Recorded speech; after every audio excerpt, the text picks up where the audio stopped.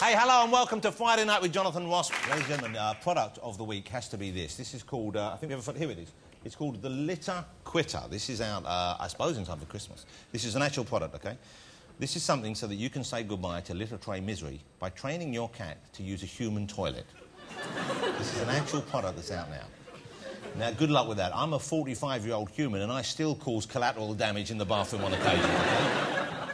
Basically, what you do with this is this. You fit this on the toilet. This is the white seat. You put this over your normal toilet there, okay? This is how, and it's meant you're meant to be able to do this in eight weeks.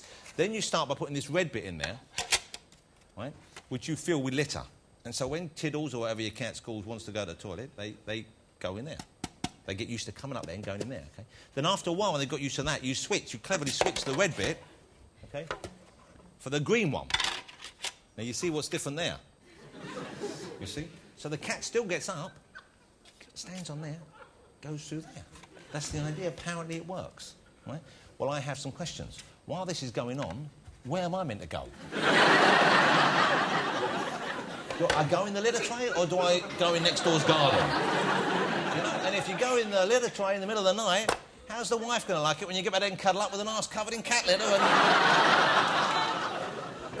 and what if the cat gets into the bathroom before you in the morning if it's got a ball of wool and a copy of Mouse Weekly, it could be in there for hours. Bang on the door.